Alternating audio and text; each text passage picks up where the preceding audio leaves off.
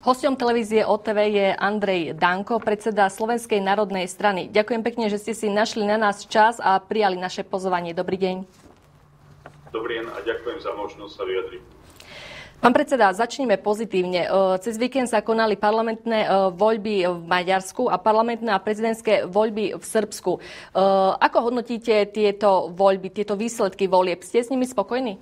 Tak mám to šťastie, že poznám aj pána Orbána, aj Vučiča Mal som možnosť s nimi niekoľkokrát rokovať a tlmočil som im pozdravy v mene Slovenskej národnej strany, pretože ja som to povedal pred voľbami, že to bude veľká skúška toho, či východné štáty, postkomunistické štáty dokážu vzdorovať tomu tlaku Bruselu. A som veľmi rád, že to Srbi aj Maďari dokázali. Ja už vnímam také prvé útoky do maďarsko-slovenských vzťahov a myslím si, že to bude aj pokračovať, že sa budú snažiť rozbíjať slovensko-maďarské vzťahy práve ľudia z bratislavskej kaviárne, pretože aj budapešťanská kaviareň si Viktora Orbána neželala, ale pravda je taká, že Maďari napredujú, stačí si porovnať ceny energií, eh, voda, plyn, elektrika, pozrieť sa, čo Maďari dokázali so športom. To isté sa týka Vučiča, je to človek, ktorý chráni svoj národ, Srby majú svoju historickú skúsenosť. A poviem to opäť, že dúfam, že aj v roku 2024 Slováci e, sa vzoprú tomu, čo sa u nás deje, pretože e, za posledné dva roky vidíme len neustále pokusy, e, neustále diskreditácie, ale žiadne riešenia. Takže potešil som sa a mne to dalo aj také presvedčenie, že to môžeme dokázať aj na Slovensku. Podľa vás e, naznačuje víťazstvo Orbánovej Fides a e, strany Vučičovej SNS, že konzervatívna sila sa ešte z Európy nevytratila a tie liberálne a progresívne sily budú čoraz viac slabnúť, keďže už nemajú takú podporu, ako mali kedysi? No, ja si myslím, že my sme Slováci a ešte tak rátam Bulhári a možno aj Rumúni, jedné z posledných národov, ktoré to ešte môžu pochopiť a hlavne aj v rámci Európskej únie e, som sa stále snažil o spojenie s Maďarmi, Poliakmi a Čechmi, aby sme mali silnejší hlas v rámci V4. Bolo to iné, keď sme držali pokope a asi vidíte, že rozbíjali V4 cieľene, rozbili e, pozíciu Polska, znepriatelili niektoré národy z hľadiska určitých tém. Preto som aj poukázal na maďarsko-slovenské problémy, ktoré som presvedčený, že sme vyriešili a povedal som, že pre mňa sú sveté hranice Slovenska. A takisto je pre mňa sveté si pripomínať udalosti v Černovej, ale Maďarov dnes potrebujeme, aby stali vedľa nás vo vzťahu k Bruselu, aby nám tu nedistribuovali utečencov, a to sme sa snažili robiť. A teraz musíte vidieť, že v Čechách je vláda, ktorá dovolí vývoz tankov na Ukrajinu.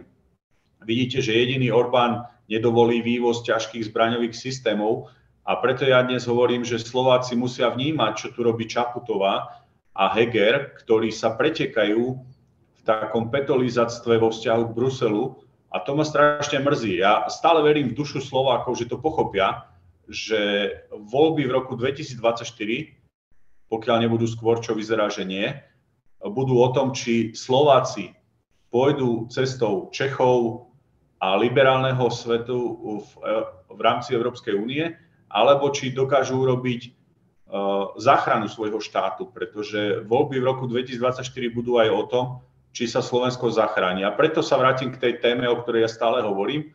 Aj na Slovensku musíme urobiť slovenský Fides, to som povedal už minulý rok. Je mi veľmi ľúto, že Peter Pellegrini to nechce akceptovať, že odmieta komunikovať aj s Robertom Ficom.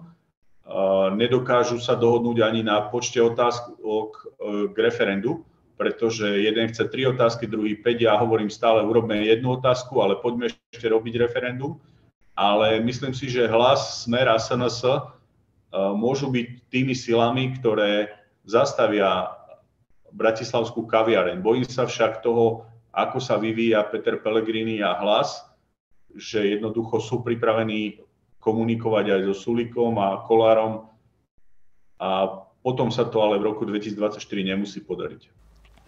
Ako ste spomenuli, do volieb nás čakajú zhruba dva roky, ak nebudú tie predčasné. Myslíte si, že ten liberálno-progresívny prúd bude u nás silnieť, alebo zopakujeme maďarsko-srbskú verziu a na vzostupe budú tie tradičné hodnoty? Orbán a Vučić zvíťazili aj preto, že za tie roky urobili poriadky aj s tretím sektorom, aj s médiami. Samozrejme, že liberálne sily budú silnieť, pretože si neviete predstaviť, aký objem peňazí majú títo ľudia. Veď ste videli kampaň Čaputovej. Eh, asi len hlupák verí tomu, že to, čo zaučtovala do kampane, sú skutočné náklady. Vidíte, ako im pomáhajú médiá, denník SME. Oni sa už dnes ani netaja. Posledne mi zablokovali blog na Smečku, bez toho, aby mi šéf-redaktorka zdvihla telefón, mi oznámili, že som robil propagandu. Môžete si moje blogy o cestovnom ruchu, o pozícii Slovenska prečítať, ale pre nich sme, odpustite mi, ľudia, ktorí im smrdia.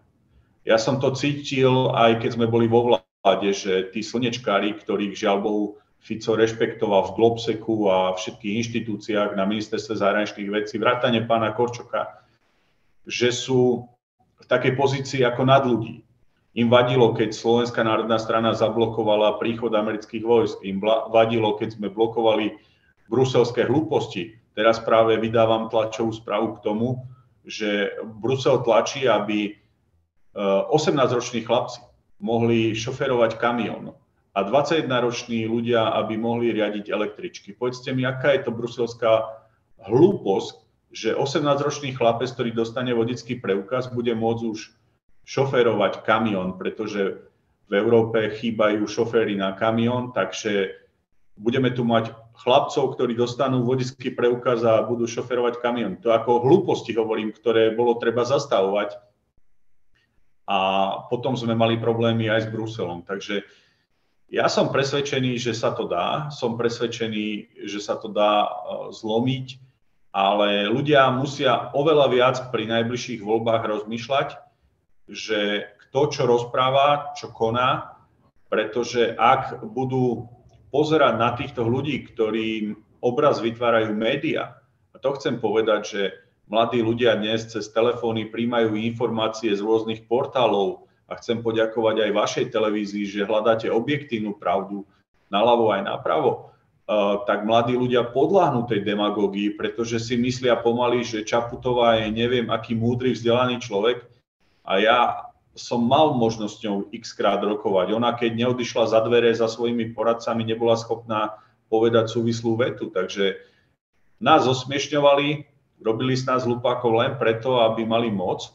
Podarilo sa im to. Dneska majú premiéra Eda Hegera, e, ktorý im všetko pritakáva. E, e, riešia naozaj čokoľvek, čo Brusel chce. Ale potom povedia takú hlúposť, že Slovensko sa môže od plynu a ropy a jadrového paliva oddeliť. Dokonca plyn, že vraj už nebudeme potrebovať v roku 2026. No len hlupák na čele, e, poviem, vlády môže povedať, že môžeme mať iný zdroj jadrového paliva. Ako Heger by mal vedieť, že naše atomové elektrárne sú stávané na ruské palivo. Preto je treba mať v Rusku dobré vzťahy, lebo tá vojna tam skončí a bude tam treba cestovať a dohadovať normálne ceny. Pozrite sa na ceny nafty, benzínu v Maďarsku. To je ten rozdiel Orbána a Hegera, pretože Orbán má vzťahy a Heger je len poslíček Bruselu. Je dôležité spomenúť úlohu mimovládok pri presadzovaní tohto liberálno-progresívneho prúdu. Ak sa nemýlim, e, Viktor Orbán už zablokoval jednu mimovládku, otvorená spoločnosť od e, pána Soroša. E, mala by byť aj na Slovensku zablokovaná táto mimovládka? Sme to mali robiť. Ale ľudia, ktorí boli v smere liberálne krídlo na čele aj s Pelegrinim, zastávali ľudí v Globseku ja som zakázal, aby ministerstvo obrany podporovalo Globsec. Ani si neviete predstaviť, čo som ňou robili.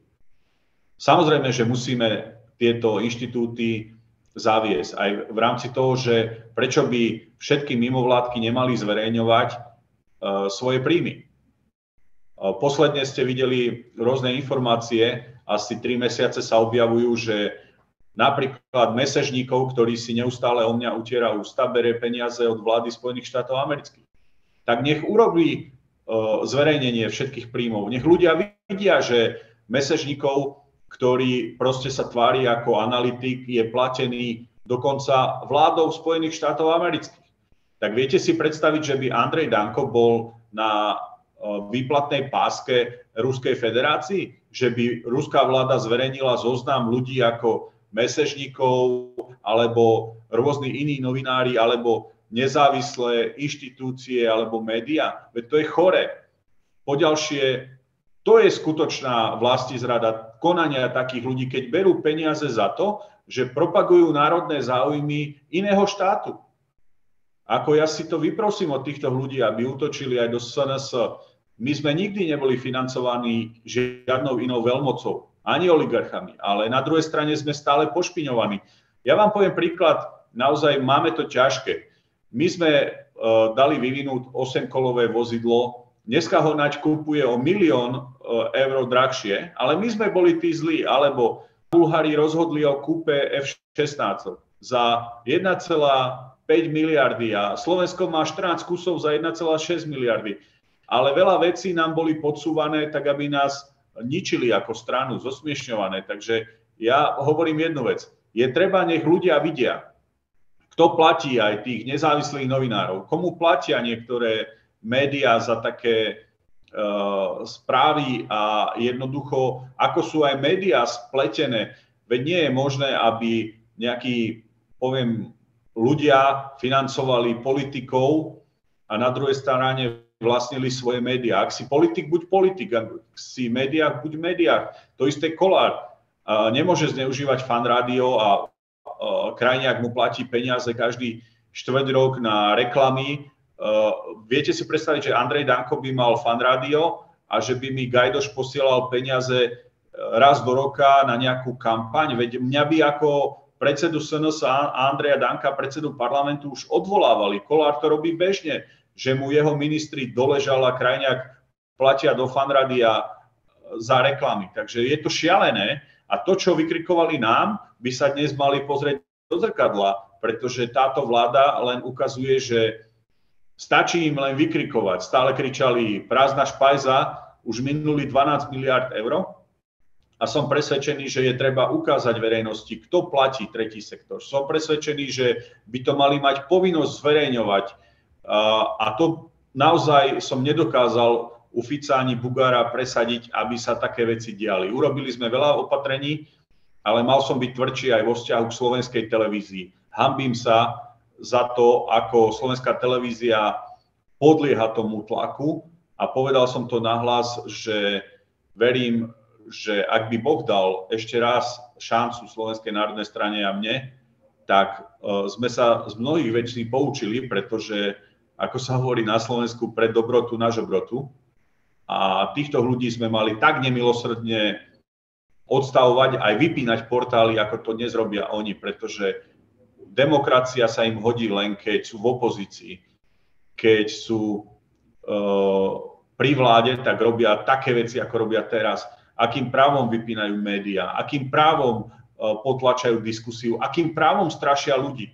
Vyhrážajú sa, kriminalizujú, uh, osočujú, proste deptajú nás, a chcú, aby sme sa rozvadili. Ako ja už som včera videl články aj v denníku N, útoky do Orbána, len aby sa obnovili maďarsko-slovenské problémy. Ja si vážim každého človeka, je jedno, aké je národnosti, akú má farbu pleti, ale vyprosím si, aby toto so Slovenskom robili. Ako Slovensko v roku 2024 bude bojovať definitívne o svoju existenciu a ak to národ nepochopí, bude veľmi zle. Ak sme pri tých eh, médiách, nedá mi spomenúť eh, Michala Šimečku z Progresívneho Slovenska, ktorý je mimochodom aj podpredseda Európskeho parlamentu. Ten sa na sociálnej sieti eh, vyjadril, že Európska únia zakročí proti Orbánovi. Ak dovolíte, ocitujem ho. Maďarská vláda dlhodobo potlača ľudské práva, slobodu médií a demokratickú politickú súťaž vo vlastnej krajine. Sabotuje európske hodnoty, paktuje s Vladimírom Putinom a slúži ako jeho trojský kôň v Európskej únii. A to všetko za prispenia miliard eur z rozpočtu Európskej únie. To však končí. Eh, ak Orbán potláča slobodu médií, moja otázka je, čo robí potom prezidentka Zuzana Čaputová a premiér Slovenskej republiky Eduard Heger. To je presne to, čo som povedal, že pre nich je len sloboda médií to, čo sa im hodí. Hej. A mne vyplý blog na smečku ani sa so mnou nebavili. Uh, píšu o vás len negatíva. Ja som sa pýtal raz aj šéf-redaktora denníka N, že nech mi nájde jednu pozitívnu správu o SNS. Veď napríklad sme znížili DPH na printy pre médiá na 10% Alebo sme umožnili, že živnostníci nezberajú bločky a majú 15% daň. A to využívajú novinári. Čo urobila táto vláda pre nich? Nič. Ale oni nás stále len hanili. Samozrejme, že tieto médiá chvália len Čaputovú, lebo aj Čaputová, aj denní gen patrí tým istým ľuďom. Veď to sú tí istí e, ľudia, ktorí sponzorovali Čaputovú a progresívne Slovensko. Tak, a čo sa týka mladého Šimečku, e, klobúk dole, že je podpredseda parlamentu v Európskej únii. Ale na druhej strane má svoje zázemie. Nechcem rozoberať teraz financovanie nadácie a jeho otca, ale toto, čo vám teraz rozprávam, sa do médií nedostane, pretože by nás zavreli. E, verím, že aj vás nevypnú po tejto relácii, ale poviem, že Šimečka Eh, tam zarába 25 tisíc eur. Veď bude u vás uhrík, tak sa spýtajte pána Uhrika na jeho mesačný plat. Podľa mojich informácií pán Uhrik dostáva 15 tisíc. Takých uhríkovcov je tam x. Nič nemôžu v parlamente, v Európskom parlamente, a ako predseda Slovenského parlamentu viem, o čom hovorím, nič tam nedokážu. Môžu minútu vystúpiť v sále, väčšinou si natočia videa a môžu akurát tak z tejto pozície vykrikovať. Ale je to šialené, aby poslanec Európskeho parlamentu zarábal 15 tisíc. To si myslíte, že je normálne? Podľa mňa je to absolútne chore. A to sú ešte len poslanci. Tak koľko zarába Šimečka? Koľko zarába šéf Európskej komisie? Európska únia je zastaralý celý mechanizmus. Vyjadrenia takýchto ľudí sú bezvýznamné, ale signalizujú to, že Bruselu vadí Orbán, Bruselu vadí uh, Vučič, kým bude Vučič na, celé, na čele Srbska, tak nezoberú Srbov do Európskej únie, pretože im Vučič vadí, lebo je to líder, silný líder, ktorý bude chrániť Srbov. A chcem vám povedať naozaj to, že ja si myslím, že Európska únia je prebujnila. Preto hovorím o platoch a o poslancoch v Európskej únii, pretože to je komunizmus. Vy si, keby ste sa, naozaj sa spýtajte Uhrika, že koľko on má peňazí mesačne k dis- dispozícii a takých ľudí je tam x a toto stojí štáty v Európskej únii šialené peniaze. Ja si osobne myslím, že Európsky parlament je úplná hlúposť, pretože ho ovládajú len určité účelové zoskupenia. Ja som to zažil, keď sme zdanili obchodné reťazce. Európsky parlament uh, mi uh, zasiahol cez Európsku komisiu do legislatívy tak, že mi povedali, že tento zákon nebude platný. No lenže ku mne sa zástupcovia obchodných reťazcov nevedeli dostať, ale pochopil som, aké silné sú potravinárske nadnárodné koncerny, ako dokážu zlikvidovať politika. Asi si pamätáte také video, že Danko stojí pri pokladni a ľuďom bere zlatú tehlu, lebo Danko zdražuje potraviny, lebo zdanil Kaufland, Tesco a Bill. A toto boli všetko cieľené kampane. Takže pán Šimečka bude robiť to, za čo mu platia, je to predstaviteľ inštitúcie, ktorá je podľa mňa v takom rozsahu, ako je úplne zbytočná. A o zbytočnosti Európskeho parlamentu sa porozprávajte s pánom Uhrikom a naozaj vás prosím, opýtajte sa ho, koľko zarába mesačne. Prezidentské voľby vo Francúzsku tu už máme tento víkend. Aké sú vaše očakávania? Určite viac fandí Marie, Marie Le Pen a mal som tu čest v spolupráci národných strán veľmi dobre viete, že sme spolupracovali od roku 2012 aj s Freiheitliche Partei Österreich. A pozerajte sa, ako likvidujú tých národných politikov. V Rakúsku zlikvidovali Štracheho, predsedu FPE. Le Pen bola s nami, takisto to bol predstavitelia uh, Ligy Severu, uh, Salvini. Ja som potom uh, úzko nespolupracoval, pretože som si nevedel predstaviť spoluprácu s určitými menšími stranami, A Boris Kolár sa do tejto spolupráce nanominoval bolo mi to aj smiešne, pretože vieme, aké sú hodnoty strany Smerodina. Ale vrátim sa k Marie Le Pen. Ja jej držím prsty, pretože Francúzsko potrebuje národnú političku na čele. Francúzi sú takí, že svojich kráľov popravujú už staročia. Každý prezident to má ťažké. Francúzi trestne stíhajú potom každého prezidenta ale Macron nie je človek, e, ktorého by som si ja politicky nejako vážil. Napriek tomu poviem, že e, vidím, že sa snaží zachraňovať Európsku úniu, Európu, pretože Macron je jediný z tých lídrov, ktorý hovorí o tom, že Európa by mala mať svoju vlastnú armádu bez ohľadu na armádu Spojených štátov. Že by sme mali spolupracovať európske štáty a myslím si, že v tom Macron koná dobre. To, čo sa mi nepáči, je ten liberalizmus, ktorý aj on predstavuje. Ale Francúzsko už nie je Francúzsko. Keď ste na návšteve v Paríži alebo v Marseille, vidíte, že Francúzsko už je naozaj kryžovatka všetkých národov a bude to ťažké aj pre Marie Le Pen uspieť, ale verím, že sa jej to podarí. Mohla by politika Marine, Marine Le Pen ovplyvniť a rozvíriť hladinu vody aj čo sa týka Európskej únie a NATO? Samozrejme. A najmä to, aby Európa už nebola závislá v ochrane od Spojených štátov. Ja chcem, aby bolo jasné, ja som zastanca dobrých vzťahov aj so Spojenými štátmi americkými, ale ak sa Európska únia sama neuchráni, tak budeme len nesvojprávni ľudia. Ja si nemyslím, že tu majú čo robiť americkí vojaci. Ja tu nechcem žiadnych vojakov, ani nemeckých, ani amerických. Stálo ma to takmer krk. Ja som není nejaký kriklún e, naozaj z ulice, ktorý len rozprával nejaké veci, ale ja som to reálne zažil. Ja som zažil tlak, keď sa mi Pelegrini začal vyhrážať, že to budem lutovať, keď nepodpíšeme zmluvu so Spojenými štátmi. Ja sa neviem možno tak e, vyjadrovať a usmievať ako Petra Pellegrini, ale na druhej strane som nikdy Slovákov nezradil a myslím si, že keby bola Le Pen prezidentka Francúzska, tak to pomôže aj tomu, o čom hovorím, že uh, zlepší sa komunikácia aj so Srbskom, aj s Čiernou horou, uh, aj s inými štátmi, ktoré majú záujem vstúpiť do Európskej únie z Balkánu, pretože sú tam úžasní ľudia. Ja milujem Balkán, si myslím, že treba pomôcť tým štátom. Veľmi dobre asi viete, že som mal dobré vzťahy aj s Đukanovičom, Milom a poznám veľa politikov aj dole, takže myslím si, že Le Pen by pomohla aj tej pozícii spravodlivosti v Únii, aj Orbánovi by sa lepšie robilo a verím, že v roku 2024 Slováci takisto budeme opäť v tom šíku rozumných národov, že nebudeme sa pretekať, či na Ukrajinu pošleme zbraňové systémy. Ja vám poviem, mám veľké kontakty s okolitými štátmi. Oni žasnú nad tým, kam sa Slovensko dostalo.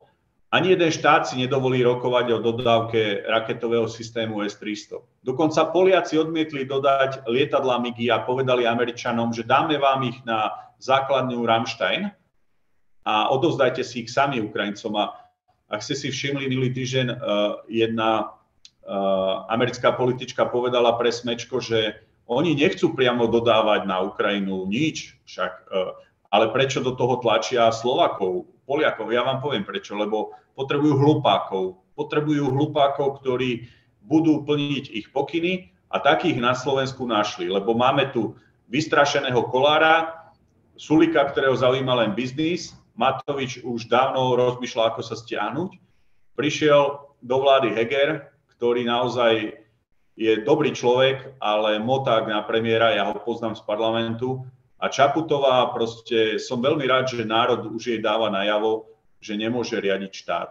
Uh, hovorím to tak, ako to cítim a myslím si, že čím ďalej viac to ľudia aj tak vnímajú. Otázka je, akú kampaň proti nám, ktorí sme v opozícii a sme relevantné strany, akú nastavia. Oni sú schopní čohokoľvek. Oni sú schopní e, rušenia politických strán, to sa začína diať v Bulharsku, sú schopní kriminalizovať Hocko. E, ja hovorím stále, že politika začína byť najnebezpečnejšie povolanie na Slovensku, pretože ak ste v opozícii, tak naozaj neviete, čo vás čaká od tejto vlády. Oni sú schopní vám zasiahnuť do rodiny, urobiť čokoľvek preto, aby vašu politickú stranu zastavili. Za sebou máme prvý polčas Matovičovo-Hegerovej vlády. Ako hodnotíte tie dva roky a čo môžeme ešte očakávať? Tak asi by ste sa mali opýtať občanov, ako to hodnotia, že majú väčšiu cenu energii, plynu, že sa podnikateľom nepomáhalo aj počas covidu. Oni stále hovorili, že prázdna špajza. No povedzte mi, minulých 12 miliard, ktoré si požičali, eh, ľudia peniaze nevideli, ja neviem, kde tie peniaze sú. A čokoľvek zobrali do rúk, to pokašľali, veď jediný národ sa testoval hromadne Slováci, hej. Hotely v Polsku, Maďarsku potvárané, u nás zatvorené. Ja mám z nich už strach, čo oni zobrali do rúk, to, ako sa povie, počúbali, odpustite mi a je to tak. Uh, proste metóda pokus omyl, senzačné tlačovky, ako garantujú cenu, one, uh, aj posledne elektriky, no nech to veľmi rýchlo skončí, lebo škody, ktoré napáchali a napáchajú, budú nedozierne. Najviac sa bojím zadlžovania Slovenska, pretože peniaze, ktoré som aj ja hovoril, že by sa mali požičať a dať na výstavbu diálnic sa stratili, nebudujú sa nemocnice, nedvihli platy zdravotníkom, sme jediný štát, ktorý zdravotníkom nezdvihol platy. My sme zdvihli zo SNS platy učiteľom, opýtajte sa učiteľov, ako im rastli platy 2016-2020, opýtajte sa vojakov. Takže je to jedna katastrofa, pretože nepripravení ľudia ako Remišová, ona riadi eurofondy, však ona nemôže uh, riadiť ani uh, babkovom divadle bufet. A dneska rozhoduje o miliardách. A nehovoriac o Kolárovi, ktorému som odovzdal parlament, to, čo urobil z parlamentu, je obrovská hamba. On mi raz povedal, že tam nemusí nič robiť, lebo som všetko zariadil, zrekonštruoval, ale má úplnú pravdu ale nikdy som nečakal, že poslanci budú hlasovať za igelitmi, že sa nebudú dodržiavať časové pásma, harmonogramy. Keby som sa ja tak správal, Ondrej dostal by ma zožral za legislatívny proces, ale to, čo robia oni z parlamentu, to je, to ja nemám slov. Ale najlepšie je sa opýtať ľudí. E, možno ľudia sú spokojní, ale tam, kde chodím ja, ľudia na túto vládu nadávajú a ja im stále hovorím, urobte voľby na jeseň, odíďte od tej vlády, lebo vás to zomele tak ako mlinček e, meso. Ten prvý počas bol pre Slovensko náročný jednak z dôvodu covidu a predovšetkým vládnych opatrení a následne bola začatá špeciálna operácia na Ukrajine, e, ktorá sa na Slovensku taktiež odrazila. E, ako sa, podľa k tomu, ako sa k tomu postavila slovenská vláda? Hlavne sa k tomu postavili e, zbrojári tak, že je to šanca konečne začať zbrojiť. Vidíte, ako sa zrazu predávajú zbranie. Poďalšie, e, tento konflikt na Ukrajine slúži tejto vláde na zakrytie ich problémov. Zrazu za všetko môže Ukrajina, za všetko, čo oni za dva roky pokazili. A čoho mám najväčší strach je, že tam chcú dodávať zbranie. Že chcú urobiť naozaj úlohu užitočných idiotov, a poslúžiť Spojeným štátom na to, aby tam išli zbranie. Poďalšie využili to na to, čo som ja blokoval so Slovenskou národnou stranou. Chcú tu mať cudzie vojska, ja som proti cudzím vojskám na Slovensku, e, pretože naši vojaci nemôžu variť kávu Nemcom, Francúzom a Američanom. Urobia z našich vojakov vrátnikov. Ja som chcel samostatnú hrdú armádu, ozbrojené sily Slovenskej republiky, ktoré ochránia v určitom čase Slovensko. Oni to využili, aby tu prišli cudzí vojaci. Takže mohol by som pokračovať. Uh, verím, že bude táto nešťastná udalosť a konflikt na Ukrajine uh, čo najskôr ukončená, pretože v prvom rade treba pomáhať humanitárne tým, ktorí to dnes potrebujú Treba povedať, že tento konflikt je nešťastný, nikdy sa to nemalo stať, ale aj na konflikte Ukrajincov a Rusov treba pochopiť, že ako sa dajú dva národy rozvadiť za sekundu. Videli sme to aj v Srbsku, kedy zmiešané rodiny zrazu mali problém komunikovať. A ja sa bojím, aby takéto konflikty, takéto nešťastia, napätia neprišli aj na Slovensko. Takže hovorím, nevšímajte si tých propagandistov a tých, ktorí si želajú, aby tam nebol mier, pretože sú medzi nami aj ľudia, ktorí konflikt na Ukrajine využívajú na získanie politických bodov alebo zárobky na zbraniach. Eh, Ukrajina ašpiruje na členstvo do Európskej únie. Eh, aký je váš názor? Ako by to mohlo ovplyvniť Slovenskú republiku? Pozrite sa, v prvom rade Ukrajina musí vyriešiť tie interné veci, ktoré si tu tlačí od rozpadu Sovietskeho zväzu a tam bolo množstvo problémov, ktoré sme my nevnímali, ale my so Slovenskou národnou stranou sme o nich hovorili došlo k ignorácii e, ruského obyvateľstva, napríklad e, uzákonenie štátneho jazyka ukrajinčiny. To je veľký problém. Poďalšie, 8 rokov prebiehali rôzne boje. Od týchto udalostí sa odvíjajú aj ďalšie udalosti. Takže v prvom rade je treba na Ukrajine dosiahnuť mier. Poďalšie je treba sa dohodnúť na určitom režime, Možno príde na Ukrajinu režim, aký poznáme na Cypre. E, tam viete veľmi dobre, že došlo k takým udalostiam v roku 74 a vojska OSN dneska strážia Severný a Južný Cyprus. Bol som tam, som hrdý na to, že sú tam naši vojaci. A keď sa takýto problém vyrieši, tak možno tá časť Ukrajiny bližšie k Európe uh, bude inklinovať k tomu, že chce byť v Únii a keď splnia všetky rokovania, tak nech vstúpia do únie, ale prví, ktorí by mali vstúpiť do Ukrajiny, sú Srby. Pretože oni splnili všetky podmienky a Európska únia ich necháva čakať len preto, že na čele Srbov je Vučič. A takisto sú tam iné balkánske štáty, o ktorých treba rozprávať a, a im pomôcť, aby boli v Európskej únii. Takže verím, že nebudú tlačiť slniečkári Ukrajinu skôr do Európskej únie, Eh, potom, ako tam nastane mier, ako to budú balkánske štáty. Prvých by som radšej videl eh, v Európskej únii ľudí z Balkánu, eh, ktorí si to teraz naozaj zaslúžia. Aký je váš názor na vyosťovanie ruských diplomatov? Prednedávnom som zachytila informáciu, že dokonca sa má zmeniť názov ulice, kde sídli veľvyslanectvo Ruskej federácie v Bratislave. Viete, že som to 4 roky blokoval pri rôznych kauzách a udalostiach. Ja to berem dnes ako preteky a poviem vám, že keď boli prvé sankcie, tak práve Nemci a aj západné štáty ich obchádzali. Veď preto som chodil do Ruska, lebo som hovoril, že e, nám tu rozprávate o sankciách a vy tam obchodujete, stávate Nord Stream a vy si tam budujete spoločné podniky, veď sú tam spoločné firmy, napríklad Mercedes a Kamaz. E, Mercedes má viac ako 34% e, v Kamaze a nám tu rozprávali, že teda sankcie. No teraz mi to prípada také preteky, že Slováci sa chcú zapáčiť, no tak uh, 35, veľvysla, 35 uh, pracovníkov ambasády vyhostíme. Ak ste si všimli to číslo 35 vtichlo, ale viem, že mediálne zbehlo niečo, že ďalší štát vyhostil 35, asi im to niekto nadiktoval, že 35, takže Slováci zase takí poslušní, iniciatívni blbčekovia na čele s Hegerom to urobili. A ja si nedávam servitky, lebo mám toho naozaj plné zuby. Ja sa tu nenechám likvidovať, kriminalizovať, zosmiešťovať do nekonečna, pretože niečo sme pre tento štát urobili.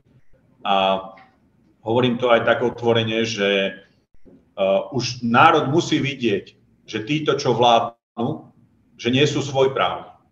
Že proste slúžia iným veľmociam. Takže som proti takým krokom, lebo sú zbytočné. To je tak smiešne, ako keď Korčok, miesto toho, aby položil vence na oslobodenie Bratislavy, si doma zapáli sviečku. Ja si nepamätám v histórii, že by minister zahraničných vecí alebo minister obrany nedali vence na Slavín. Ja si nepamätám, že by niekedy sa diala taká vec, že by niekto spochybňoval druhú svetovú vojnu a oslobodenie Bratislavy. Ako kde to celé skončí? alebo že premenovávajú, že není ruská zmrzlina, alebo ruské vajce, čo sa zbláznili, ako proste naozaj veľmi som bojoval o to, aby v Bratislave bola šachová škola Anatolia Karpova. Je to môj priateľ. A teraz sa tu dozvedám, že nejaký 28-ročný chlapec navrhol uh, zrušenie tej školy a názvu. Tak sa pýtam, uh, to je čo za hlúposť rušiť šachovú školu Anatolia Karpova, ktorý dal do Bratislavy metodiku výučbu šachu, ktorý dal tejto škole svoje meno. Len preto, že teraz sa to hodí nejakému bratislavskému slnečkárovi. Uh, to je chore. Ale hlavne sa musia ľudia prebudiť, pretože aj v Maďarsku Budapešť je proti Orbánovi. Aj v Bratislave je to tak. Oni by nás tu zožrali niektorí. Ale ľudia v regiónoch, a ďakujem vám, že to robíte aj na východnom Slovensku, musia počúvať aj iné názory.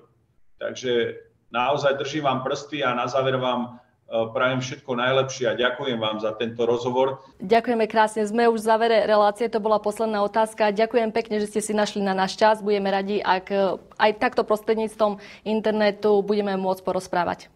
Tak sme to vyskúšali a takto nie je problém, keď budete mať záujem Veľmi radi sa s vami spojíme a pozdravujem naozaj e, východ.